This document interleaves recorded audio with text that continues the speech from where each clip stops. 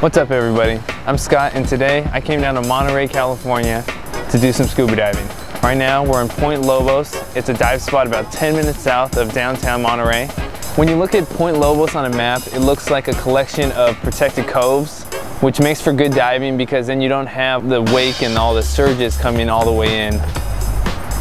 This being my first time at Point Lobos, I'd always heard that you needed a reservation, that sometimes you need to make reservations two or three weeks in advance to get a spot for diving. Today we were just, we were gonna go up the road and we got lucky. We decided to stop by and there just happened to be a few more extra spots. So we got in with no problem and it turned out to be a beautiful day for diving.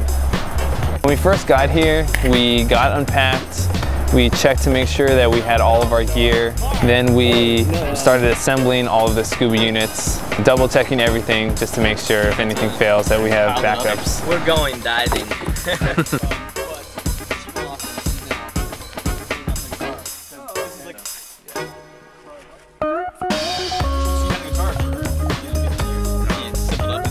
Three out of the four of us are relatively new divers and we went with one experienced diver which is always good because then you have someone that's kind of like a tour guide that shows you the good spots and the good entry and exit points and uh, you know can kind of also look after you.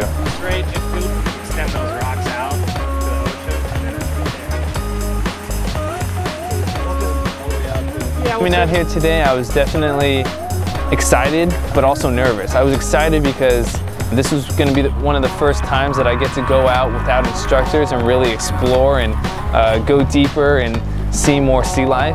You know, had mixed feelings, but I was definitely ready for the challenge. we were down there, the diving was amazing.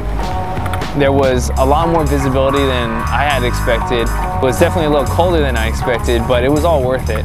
It was clear, there was uh, a lot of sea life, and scuba diving is a lot of fun because you're getting to explore a whole new world that you wouldn't normally get to see. Being able to stay down for 30, 45 minutes at a time, it's just unreal.